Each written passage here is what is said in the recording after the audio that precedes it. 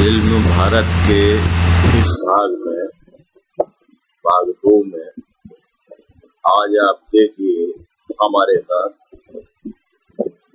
महाभारत के भौतिक साक्ष्य। अर्जुन के अनुसार कुंतल कुतवार मुरैना मध्य प्रदेश में स्थित, इस फ़िल्म को देखिए और वह स्थान देखिए। जिसे दुर्वासा मुनि की तपस्थली और कुंती का शिव मंदिर यहाँ स्थापित है। यहाँ पूरा शिव परिवार स्थापित है। जहाँ पर कुंती ने भगवान शिव की पूजा की। उसके ठीक नीचे आसन नदी स्थापित रहती है और उसी आसन नदी में जहाँ पर सूर्य का रथ उतरा, मंत्र के आह्वान से सूर्य देव आए, कर्ण का जन्म हुआ। ये वही जगह है, ये वही शिव मंदिर है जो आप देख रहे हैं। ये इस पर पूरी फ़िल्म। और वह जगह देखिए, जहाँ पर सूर्य के घोड़ों के टापों के निशान आज तक चट्टानों पर जो के जो मौजूद हैं? वो सभी निशान हम दिखाएँगे। और जहाँ पर स्वयं सूर्य के पग चिन्ह भी मौजूद है, वह स्थान भी हम आपको दिखाएँगे।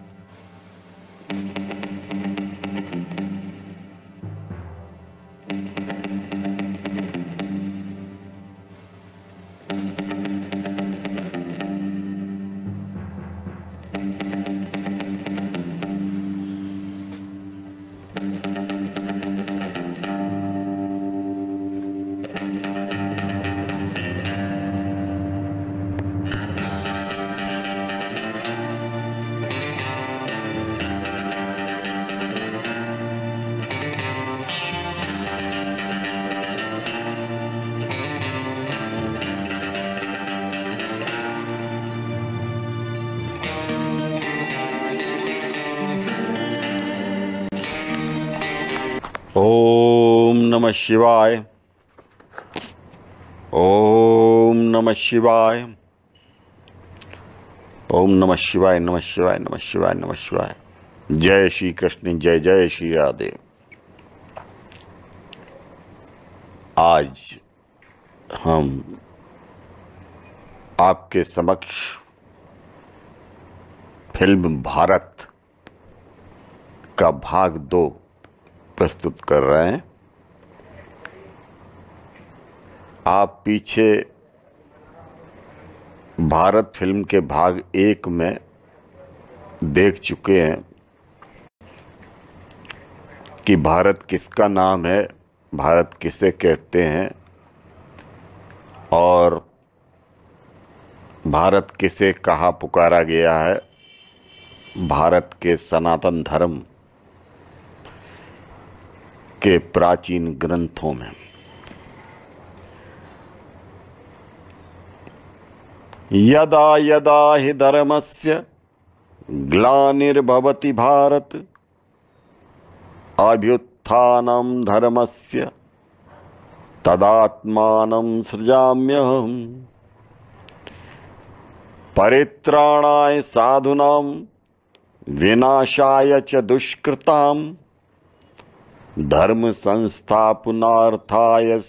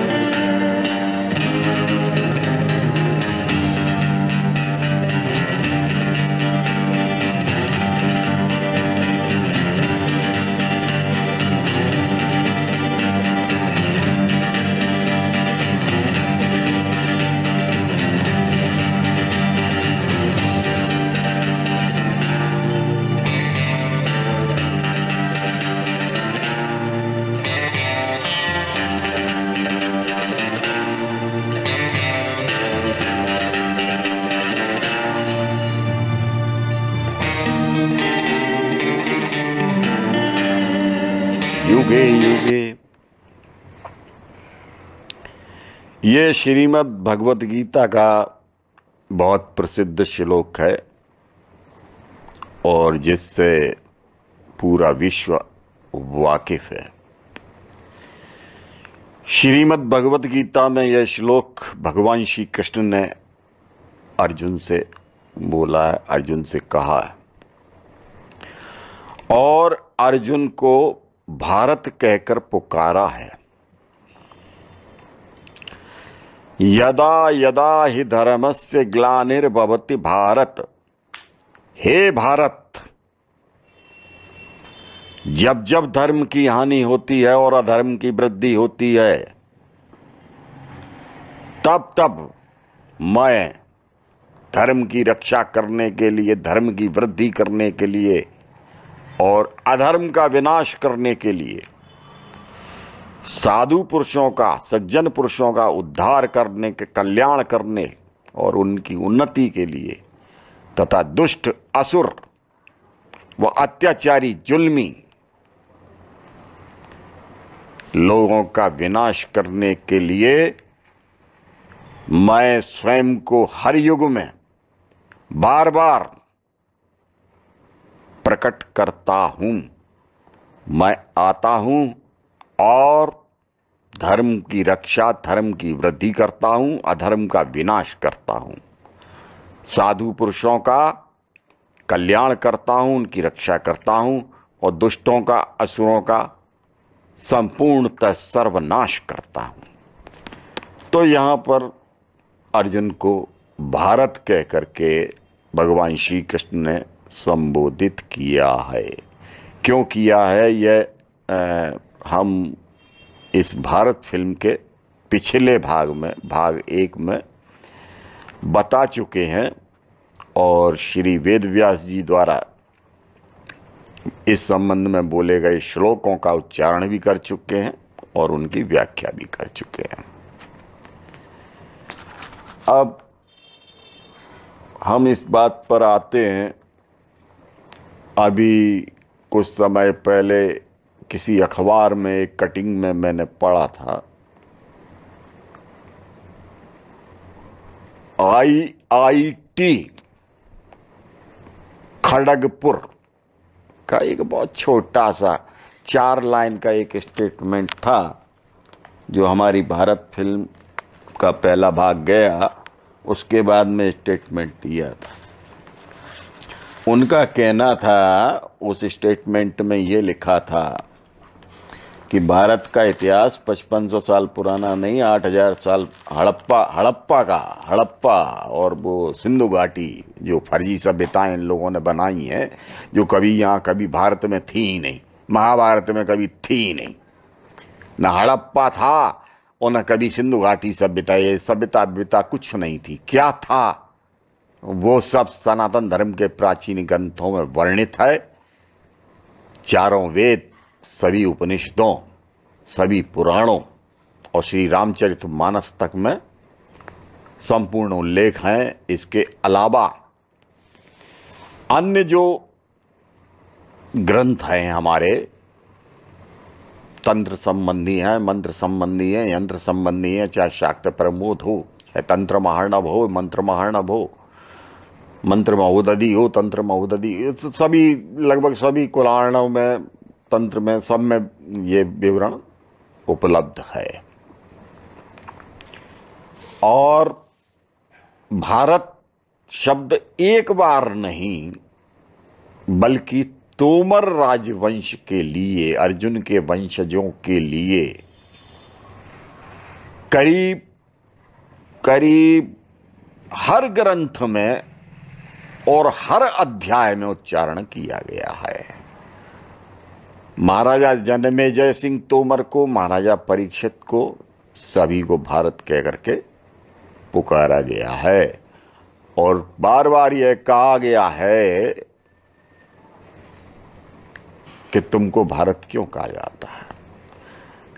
वेद व्यास जी का श्लोक तो हम पिछले भारत फ़िल्म के भाग एक में बता चुके हैं, लेकिन अन्य जो ऋषियों और मुनियों और विद्वानों के जो श्लोक हैं, उनके उच्चारण इस फ़िल्म में आगे आएँगे, जहाँ जहाँ उन्होंने भारत कहा दूसरा ये, यह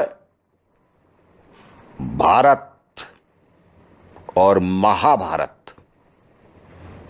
भारत ने महाभारत बनाया था। महाभारत का अर्थ है विश्व साम्राज्य, जिसका नक्शा हम अपनी फ़िल्म में दिखा चुके हैं, भाग एक में भी। और भाग दो में भी दिखा रहे हैं। और यह नक्शा वर्णित है बाकायदा महाभारत में। और उसी प्रमाणित नक्शे को जो कि उस ग्रंथ में वर्णित है, जैसा का तैसा दिखा रहे हैं। इस संबंध में विबुध श्रीधर, महाभारत और श्री भागवत ये प्रमाणिक ग्रंथ माने जाते हैं इन नक्शों के बारे में। विबुद्ध श्रीधर उस समय लिखा गया जब महाराजा अनंगपाल सिंह तोमर दिल्ली के सम्राट थे। उस समय चंद्र बरदाई ने पृथ्वीराज रासो लिखा गया। पृथ्वीराज रासो में भी महाराजा अनंग पाल सिंह तोमर का विस्तृत विवरण दिया है। दिल्ली में किल्ली गाड़ने का विस्तृत विवरण दिया है। और उनके इंद्रप्रस्थ साम्राज्य का कितना भव्य था, कितना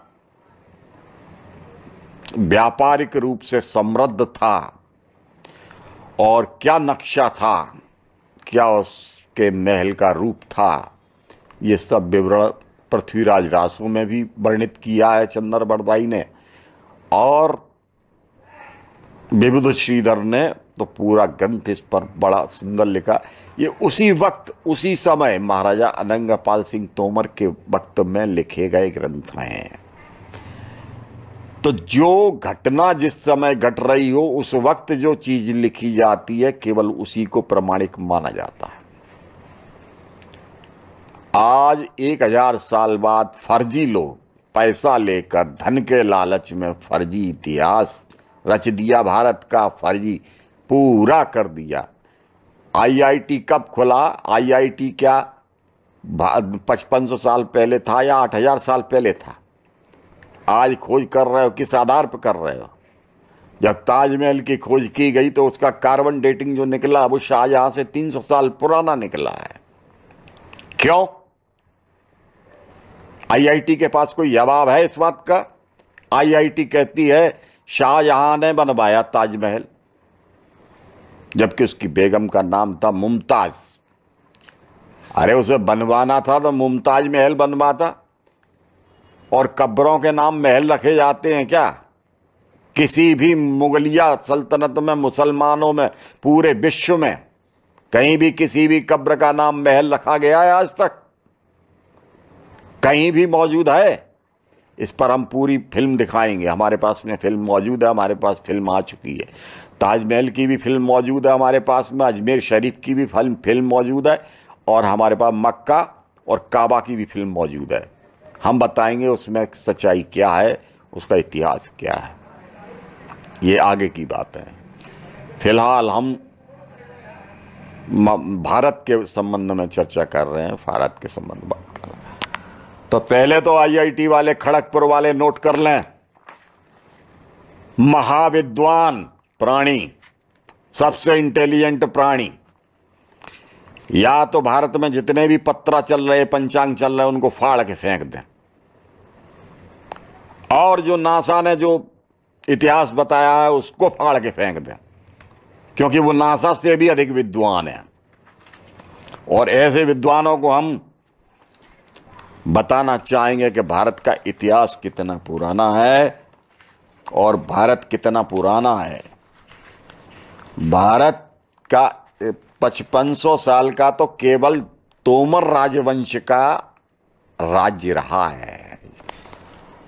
केवल तोमर राजवंश ने पचपन सौ वर्ष तक महाभारत पर साम्राज्य किया है इंद्रप्रस्थ के किले से।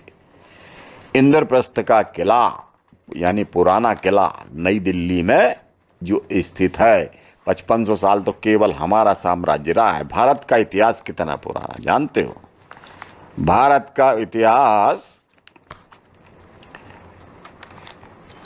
अब सुनिए आप खुद ही जोड़ जोड़ लेना। सतयुग की उम्र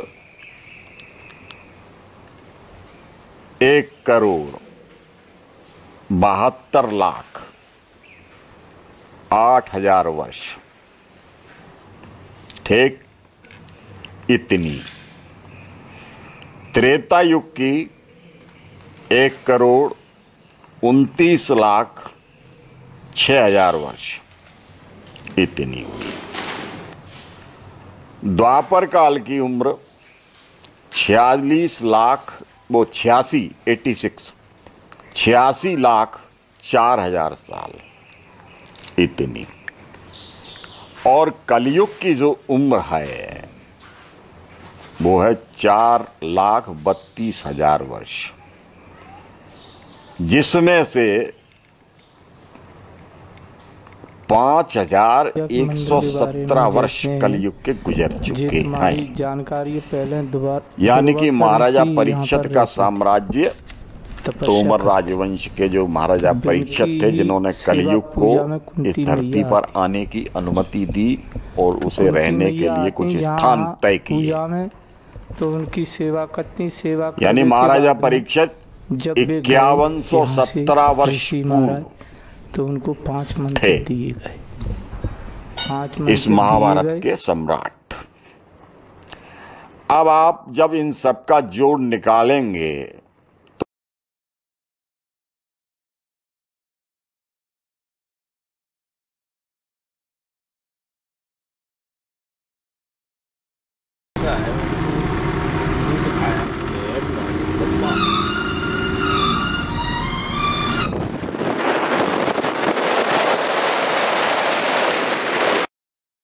क्या महत्व रखता है?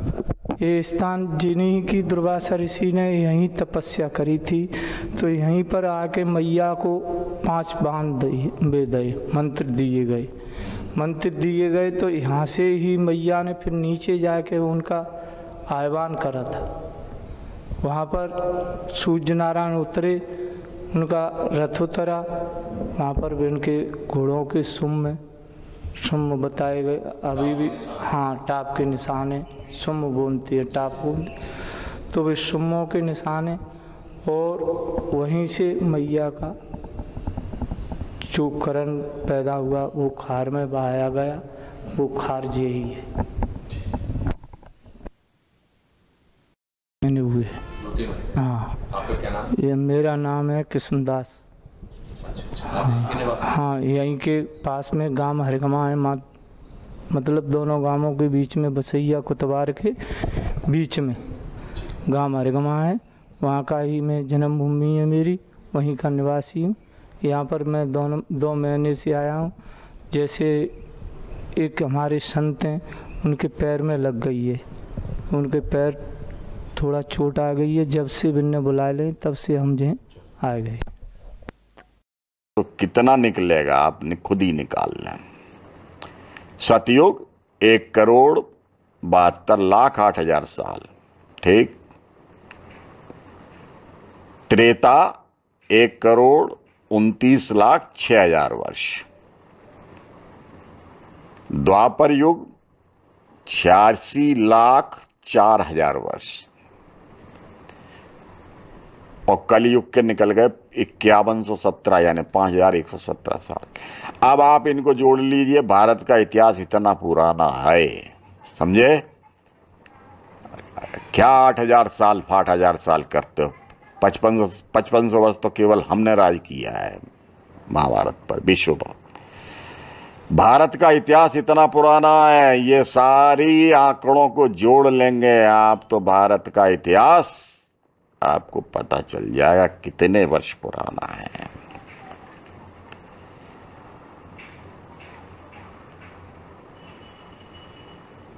अब इसमें ये तो चतुर्युगी हुई चतुर्युगी का प्रमाण है।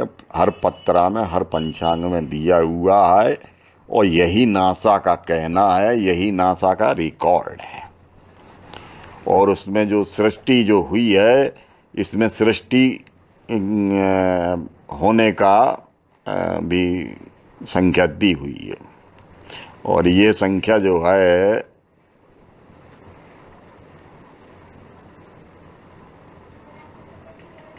दस अंकों में है। सृष्टि को हुए संख्या नोट कर लें आईआईटी के वैज्ञानिक,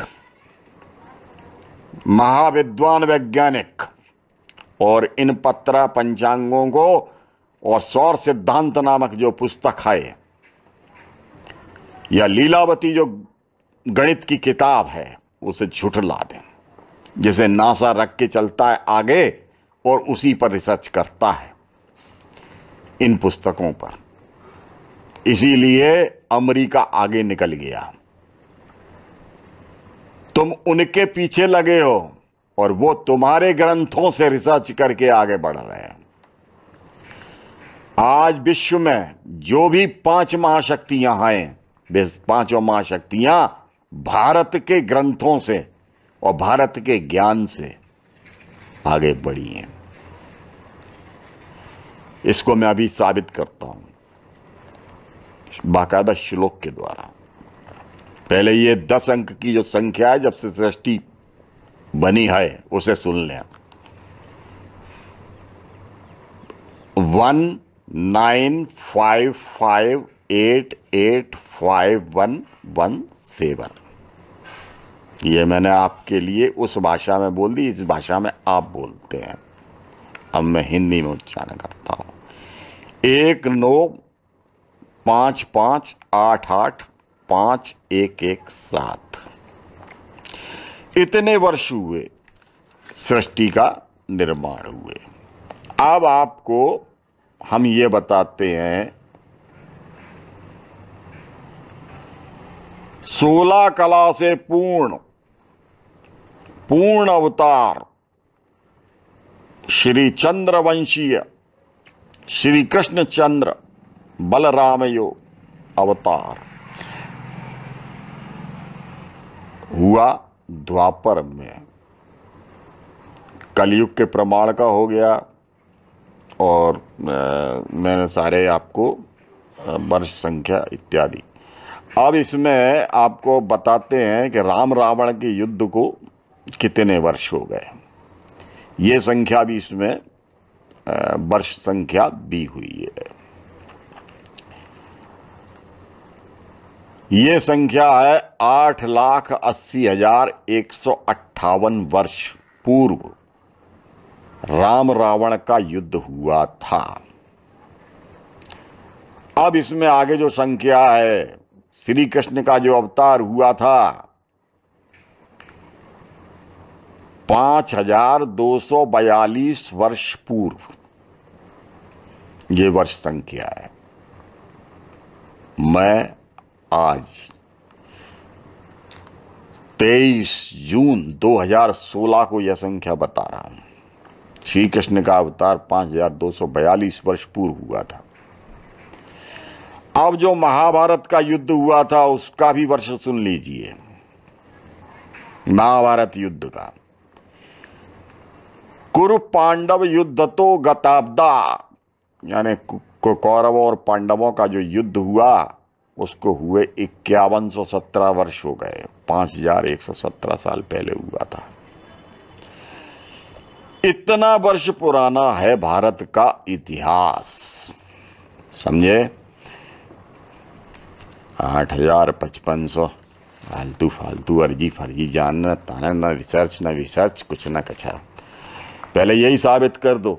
जो दू, दूसरे वैज्ञानिकों ने साबित किया है। हम फ़िल्म दिखाएँगे उसमें उसमें बीबीसी में बीबीसी की फ़िल्म है और उसमें क्लियर कट कहा गया है खुद बीबीसी ने कहा है कि ताजमहल जो है शाहजहां से जब उसका कार्बन डेटिंग निकाला गया तो शाहजहां से 300 वर्ष पूर्व पहले बन, बना था। शाहजहां जब हुआ है उससे 300 वर्ष पूर्व का निर्माण है वो। तुम क्या साबित करते फिरते हो?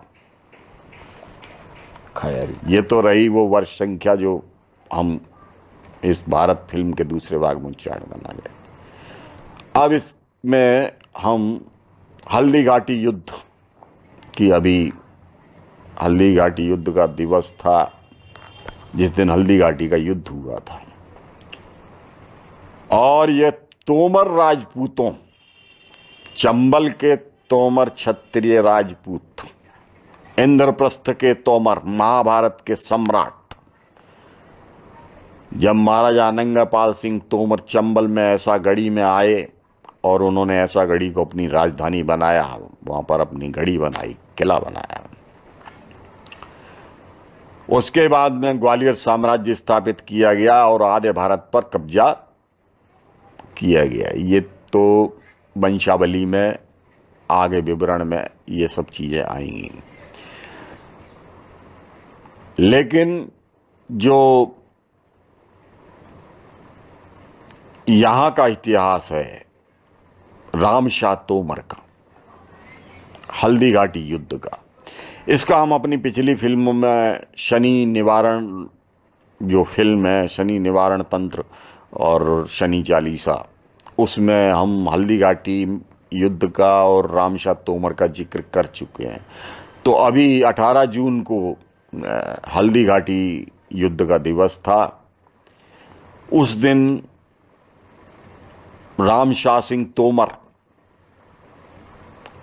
और उनके तीन पुत्र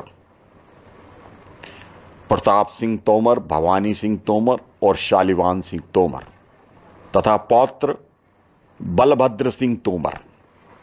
पौत्र यानी नाती। शालिवान सिंह तोमर को महाराणा प्रताप की बहन ब्याई थी।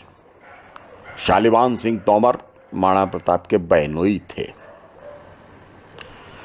तो हल्दी घाटी का युद्ध केवल 500 वीरों के साथ 500 तोमर राजपूतों वीरों के साथ में जाकर के और बीस हज़ार की सेना से अकेले जाकर के रामशाह तोमर भिड़ गए थे। रात में जब मंत्रणा चल रही थी, रणनीति बनाई जा रही थी महाराणा प्रताप के दरबार में तो किसी ने कहा, जब महाराजा राम रामशाह तोमर ने वहाँ पर सलाह दी कि हमारी सेना कम है, हमारे संसाधन कम है, हम खुले मैदान में मान मान सिंह से युद्ध नहीं कर सकते, मिर्ज़ा मान सिंह से। मिर्ज़ा मान सिंह कछवा था। कछवाहा वंश का कलंक और कछवा वंश है राम का वंश। राम के वंश पर यह कलंक है बहुत बड़ा। वो कछवा वंश का मिर्ज़ा मान सिंह, जिससे ये युद्ध हुआ था। अकबर का सेनापति, बीस हज़ार की फौज के साथ में डेरा डाले हुए था। तो जब मंत्रणा चल रही थी तो महाराजा रामशाह सिंह तोमर ने कहा, हमारी सैनिक कम है, सेना कम है, हमारे पास संसाधन कम है। हम खुले मैदान में उनसे युद्ध नहीं कर सकते। हमें छापा मार लड़ाई लड़नी होगी। तब हम जीतेंगे। तो उस अनुभवी विशेषज्ञ, बुद्धिमान व्यक्ति का उपहास उसी दरबार में, तीन दरबारियों ने उड़ाया। और कहा, ये बुढ़ा जो स्वयं को महाभारत सम्राट के वंशज हैं ग्वालियर के महाराजा रहे हैं इनके वंशज। ये तोमर, कैसा तोमर है जो मरने से डरता है और बूढ़ा हो गया है, जिसके मरगट में पैर रखे हुए शमशान की ओर जिसका प्रस्थान चल रहा है, और मरने से इतना डरता है कि खुले मैदान में लड़ाई नहीं लड़ सकता। तब रामशाह तोमर को क्रोध रामशाह तोमर उसी समय मंत्रणा और रणनीति की उस बैठक को छोड़ करके चुपचाप अपने महल की ओर प्रस्थान कर अपने तीनों पुत्रों को जगाया। उनसे कहा, चलो। पुत्रों ने नहीं पूछा, कहाँ चल? बोले, सशस्त्र होकर सज कर चलो। मरना है या मारना है? तीनों पुत्र अपने सैनिक वेशभूषा में, युद्ध की बाने में, केसरिया बाने में सज धज कर निकल कर आ गए। और उनका पौत्र, जो कि बहुत छोटा था उस उसकी उम्र बहुत कम थी, मात्र दस साल। बलभद्र सिंह वह भी सजकर आ गया। हमारे यहाँ पर दादाजी से बाबा कहा जाता है। बाबा, आप जा रहे हैं, मेरे पिता जा रहे हैं, सब जा रहे हैं, मेरे चाचा जा रहे हैं। मैं कैसे रह जाऊँगा? मैं भी छत्री हूँ। उसी तोमर राजवंश मैं भी राज तो वो भी सच कर निकल आया, वो भी इसके बाद जहाँ तोमरों की चंबल के जो तोमर थे, जिनको वो अपने साथ लेकर के मेवाड़ गए थे चित्तौड़गढ़ वहाँ पहुँचे, उनसे कहा, हुक्म दिया, तैयार हो जाओ। युद्ध के लिए निकलना। तो सभी तैयार हो गए। तो उन्होंने कहा, पचास तुमर यहाँ रहे, साढ़े चार सौ चलो। तो साढ़े चार सौ तोमरों को वो साथ लेकर के और रात में ही निकल पड़े। और यह खबर न महाराणा प्रताप को लगी और न किसी अन्य को लगी। साढ़े चार सौ तोमर, रामशाह सिंह तोमर, उनके तीनों पुत्र और और पौत्र बलभद्र सिंह। रातों रात चलते चलते चलते चलते सुबह तक हल्दी घाटी के मैदान में पहुँच गए। अब ये 423 ये और पाँच वे। साढ़े चार सौ और पा, पाँच यानी चार सौ पचपन लोग मात्र। 455 लोगों ने बीस हज़ार की सेना से सीधा मुकाबला शुरू कर दिया युद्ध कर दिया। और इतना कोहराम मचाया, इतना कोहराम मचाया। उनके स्मारक पर जो शिलालेख लगे हुए हैं, खड़मोर में, रक्त तलैया है। रक्त तलैया भर दी उन्होंने रक्त से। उस रक्त तलैया, खड़मोर, हल्दी घाटी, उदय उदयपुर के पास में स्थित है राजस्थान में। आप जाकर के देखिए उन स्मारकों को, उन शिलालेखों को पढ़िए। उन्होंने रक्त तलैया को रक्त से भर दिया। और केवल साढ़े चार सौ तोमर वीरों के साथ, यानी चार सौ पचपन लोगों ने, बीस हज़ार को दस पंद्रह किलोमीटर पीछे तक खदेड़ दिया। मान सिंह भाग खड़ा हुआ। मिर्ज़ा मान सिंह भाग खड़ा हुआ। बीस हज़ार की फौज में कोहराम मच गया। टुकड़ियों में भागने लगे लोग। जिसको जहाँ जगह मिली वो वहाँ। कोई लाशों के नीचे छुपता फिरा, कोई इधर भागा, कोई उधर भागा। लेकिन तब तक महाराणा प्रताप को पता चला तो पचास सैनिक वे लेकर के और पहुँच गए। वे आश्चर्यचकित थे कि रात में ही रामशाह तोमर कैसे निकल करके हल्दी घाटी में आ गए और युद्ध शुरू कर दिया। तो वो भी अपना बाना पहन करके मानसिंह झाला के साथ, पचास सैनिकों के साथ में वहाँ पर पहुँच गए और युद्ध शुरू कर दिया। जब युद्ध शुरू कर दिया तो लगभग लगभग जो राजा रामशाह सिंह तोमर ने विजय प्राप्त कर ली थी उस युद्ध में, मान सिंह झाला ने महाराणा प्रताप को घायल देखा। तो उनके वस्त्र धारण कर लिए और उनका देशभूषा बना करके घोड़े पे बैठ गया और महाराणा प्रताप को युद्ध से भगा दिया। जब महाराणा प्रताप युद्ध से भाग गए तो युद्ध के परिणाम बदल गए। जो सेना भागी थी, मिर्ज़ा मान सिंह की, वो सेना फिर से पलट के आ गई। लेकिन लड़ते लड़ते लड़ते लड़ते शा, शाम का वक्त हो चुका था। युद्ध पूरी चरम सीमा पे था। रामशाह सिंह तोमर बहुत बुरी तरह से घायल हो चुके थे। उनके तीनों पुत्र बहुत बुरी तरह से घायल हो चुके थे। बलभद्र सिंह जिसकी उम्र केवल दस वर्ष थी उनका पौत्र। खून से पूरा नहाया हुआ था। मगर युद्ध कर रहे थे। अपने क्षत्रियत्व को अपने राजपूतत्व को सिद्ध कर रहे थे, साबित कर रहे थे कि हाँ, हम महाभारत सम्राट के वंशज हैं, हम अर्जुन के वंशज हैं। हम तोमर हैं, हम पांडव हैं। हम हम हैं और हमारे बराबर कोई नहीं है।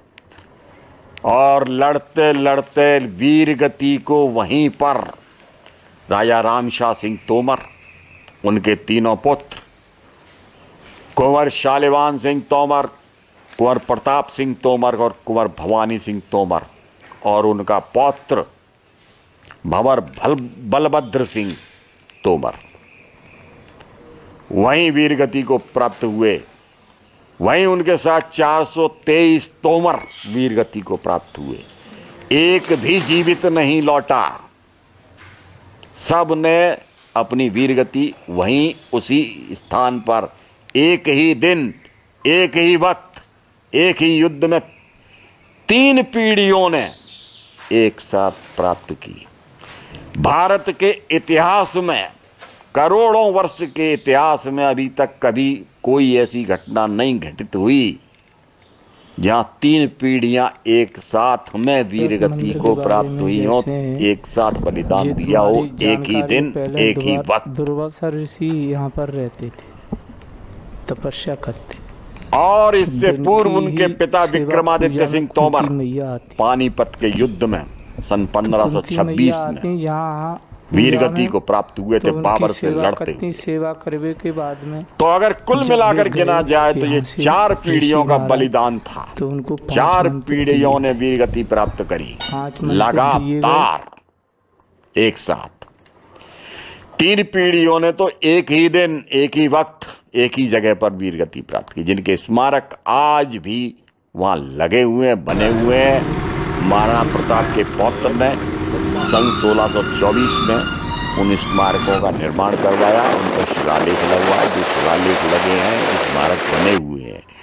वो जगह है रथ तलैया खड़मोर हल्दी घाटी। ने यही तपस्या करी थी। उदयपुर तो राजस्थान के मैया को पाँच बाँध तो ग्वालियर में इस संबंध में मंत्र तोमर तो क्षत्रिय राजपूतों ने नीचे जाके उनका हल्दी घाटी दिवस मनाया। वहाँ पर और नारायण उतरे ग्वालियर के अंतिम सम्राट विक्रमादित्य सिंह तोमर के सुम में के पुत्र रामशाह सिंह तोमर हाँ, टाप के निशान जो कि डंडोली जिनका पैतृक गाँव था डंडोली में जाकर के रहने लगे उस समय उनकी उम्र केवल 12 वर्ष थी। तो 12 वर्ष की उम्र में वे अपने पैतृक गाँव डंडोली अंबा तहसील में पहुँच गए। वहीं उनका विवाह हुआ वहीं उनके तीन पुत्र हुए। हाँ। और उसके बाद हल्दी घाटी में ये कहानी समाप्त हाँ यहीं के पास में गाँव हरिगमा है मात ये मतलब दोनों गाँवों के बीच में बसे वीर गति दिवस बीच में। पर ग्वालियर में तोमर क्षत्रिय राजपूतों ने जन्मभूमि है मेरी। वहीं का निवास श्रद्धा यहाँ पर मैं दोनों श्रद्धांजलि और पुष्पांजलि अर्पित करते हुए हमारे संत हैं दीप प्रज्वलित किए। उनकी याद में उनकी स्मृति में। आ गई है। जब से बिन्ने बुला ले ये चित्र हम आपको इस फ़िल्म में दिखा रहे हैं। जय श्री कृष्ण जय जय श्री राधे। अब हम आगे की यह फ़िल्म जारी रखते हैं। महाभारत के योद्धा अर्जुन की माँ कुंती का कुंतलपुर अब आप इस फ़िल्म में आगे देखिए। ये भारत की वो जगह है, असल जगह है, जहाँ पर कर्ण का जन्म हुआ। अर्जुन की माँ कुंती का गृह राज्य, कुंतलपुर। जिसे कुतवार कहा जाता है। महाराजा कुंती भोज का राज्य। हम आपको इस फ़िल्म में वह शिव मंदिर दिखा रहे हैं, जहाँ महारानी कुंती पूजा करती थी। यह वह असल शिव मंदिर है, जहाँ महारानी कुंती ने पूजा की हमेशा। यह वह असल शिवलिंग है। ये शिवलिंग देखिए। इसी शिवलिंग की पूजा महारानी कुंती द्वारा की जाती थी। यह आज भी ज्यो का त्यों जस का तस है। यह मंदिर ज्यो का त्यों, इस मंदिर को आप शिव मंदिर को गौर से देखेंगे तो आपको सारे राज चिन्ह इस मंदिर में स्वतः नज़र आएँगे। कुंती के। कुंती का असल नाम प्रथा था। और महाराजा कुंती भोज ने उनको गोद लिया था, यानी दत्तक ग्रहण किया था। भगवान श्री कृष्ण के पिता वसुदेव की सगी बहन थी कुंती। तो श्री कृष्ण के जो पिता वसुदेव थे, उनकी सगी बहन थी कुंती। उनका नाम था प्रथा। असली और सही नाम उनका प्रथा था। इसलिए अर्जुन को पार्थ कहकर के या तोमर राजवंश के लोगों को पार्थ भी कहा जाता है। प्रथा के पुत्र थे तो पार्थ कह कर कह कर के भी श्री कृष्ण ने श्रीमद् भगवत गीता में अर्जुन को पुकारा है, और भी ग्रंथों में पुकारा गया है। तो वो कुंती जिनका नाम प्रथा था, और महाराजा कुंती भोज के कोई संतान नहीं थी तो वे उनको गोद लेकर के वसुदेव से उन्होंने, वसुदेव के पिता से उनको भिक्षा में मांगा। तो उन्होंने उन्हें कुंती भोज को गोद दिया, दत्तक ग्रहण कराया। इसलिए श्री कृष्ण की बुआ थी कुंती। इसीलिए श्री कृष्ण जो है, कुंती को बुआ जी कहते थे। क्योंकि उनकी सगी बुआ थी वे। तो यह जो शिव मंदिर आप देख रहे हैं शिवलिंग आप देख रहे हैं हम उनके महंत जी का इसमें इंटरव्यू भी आपको दिखा रहे हैं इस फ़िल्म में। इसके ठीक नीचे यह वो आसन नदी है जहाँ सूर्य का रथ उतर, उतरा था। यह दुर्वासा ऋषि की तपस्थली है। ये जो शिव मंदिर है, यहीं पर दुर्वासा ऋषि ने तप किया था। ये दुर्वासा का तप स्थल है, दुर्वासा ऋषि का। यहीं पर दुर्वासा ऋषि ने कुंती को पाँच मंत्र दिए थे देवताओं का आह्वान करने के। उस मंत्र को जांचने के लिए इसके ठीक मंदिर के नीचे ये आसन नदी है। ये वही आसन नदी है जहाँ पर वह पहले स्नान करती थीं, फिर पूजा करती थीं। नित्य का उनका स्नान के लिए यह नियम था और फिर शिव मंदिर में पूजा करने का। दुर्वासा ऋषि उस समय वहाँ तपस्यारत थे तो, तो दुर्वासा ऋषि ने उनको पाँच मंत्र दिए थे देवताओं के आह्वान के। तो उन्होंने यूँ ही परीक्षण के लिए जाँच के लिए सूर्य का आह्वान कर दिया था स्नान के बाद। सूर्य का आह्वान किया तो सूर्य का रथ उतरा था। तो आप यहाँ पर ये जो फ़िल्म में देख रहे हैं, यहाँ पर सूर्य के रथ के और सूर्य के जो घोड़े जो रथ में से ढील दिए गए थे सारथी द्वारा। तो घोड़ों के टापों के निशान इन चट्टानों पे स्पष्ट दिखाई दे रहे हैं। आप देख रहे हैं इनको। ये निशान प्राकृतिक हैं। इनको किसी भी भांति से कृत्रिम तरीके से नहीं बनाया जा सकता। ये स्वतः ही निशान ही बताते हैं, स्वतः ही निशान चिन्ह ही बोलते हैं। घोड़ों की टापों के जो निशान ये चट्टानों में छपे हुए हैं, ये कोई एक नहीं है, सैकड़ों इधर भी हैं और नदी के उस तरफ़ भी। हमने दोनों साइड नदी के दोनों साइड के चित्र लिए हैं, दोनों साइड का वीडियो बनाया है। तो आप इनको देखिए। और यहीं पर सूर्य के स्वयं के पैरों के चिन्ह हैं, इन चिन्हों को भी आप देखिए। स्वयं सूर्य सूर्य नारायण के पाँव के चिन्ह यहाँ पर छपे हुए हैं। और जो ये भी चट्टान में प्राकृतिक रूप से बने हैं। तब संभवतः अब यहाँ इस नदी में रेत नहीं है। तब संभवतः यहाँ रेत रही होगी और सूर्य की गर्मी के कारण वह रेत चट्टानों में तब्दील हुई होगी। ऐसा अनुमान लगाया जा सकता है, क्योंकि ये सारे निशान जितने भी हैं, ये सब चट्टानों में हैं। अब हम आपको यहाँ पर कुंती का ये शिव मंदिर अर्जुन की नंसार, कुंतलपुर, इसकी पूरी कहानी। हम आगे आपको और सुनाएँगे और आगे बताएँगे। तो यह वह स्थान है जहाँ कर्ण का जन्म हुआ। यही वह जगह है जहाँ पर कर्ण को स्वर्ण मंजूषा में रख करके इसी नदी में, इसी जगह पर प्रवाहित किया गया था। इस जगह को कर्णखार कहा जाता है। ये कर्णखार के नाम से प्रसिद्ध है। तो कर्ण का जन्म हुआ, ये जो सूर्य के घोड़ों के टापों के निशान, सूर्य के निशान और ये जो यहाँ पर चट्टानों पर हैं, मौजूद। यहीं पर ही कर्ण को स्वर्ण मंजूषा में रख करके इसी जगह पर, इसी कर्णखार में इसी आसन नदी में यहाँ प्रवाहित कर दिया गया था। आगे आप फ़िल्म में देखते जाइए। हम आपको भारत की आगे की कहानी आगे की पूरी प्रा, प्राचीन और प्रमाणिक शत प्रतिशत प्रमाणित और भौतिक साक्ष्यों के साथ में दिखाते जा रहे हैं।